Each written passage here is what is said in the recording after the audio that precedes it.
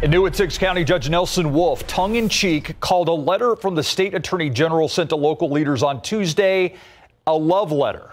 It accused the city and county of overreaching their authority regarding emergency orders, orders issued concerning COVID 19. Paul Venema took the issue to a legal expert, a law professor, for an opinion.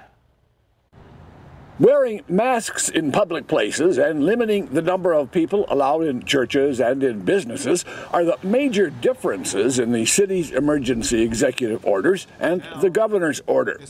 The letter from the state attorney general's office accuses the mayor and county judge of exceeding their lawful authority by mandating masks and establishing crowd size guidelines. There's just not a lot of authority out there to say who wins in this situation. Marks is a professor at St. Mary's University School of Law. He says the orders are confusing and inconsistent.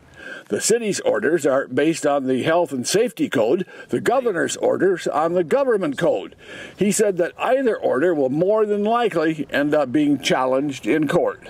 The bars are going to start going bankrupt. Uh, restaurants can't continue to handle only 25% and survive. And when you're talking about people's livelihood, they're going to resort to litigation. The letter also accuses local leaders of being in conflict with the governor's order by mandating a crowd size limit for religious services.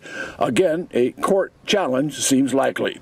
So, what should you do when it comes to the orders? I think everybody you know, just as a matter of common sense, should probably do what they feel safe is doing. Paul Venema, KSAT 12 News.